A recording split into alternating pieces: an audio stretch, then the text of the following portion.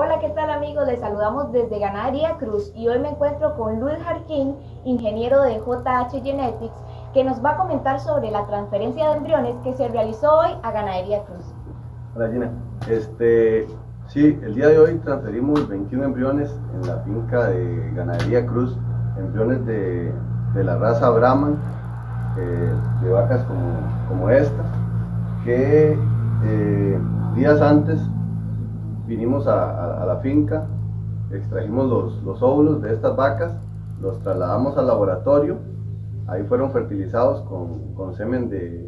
todos eh, estadounidenses de alto valor genético de la raza Brahman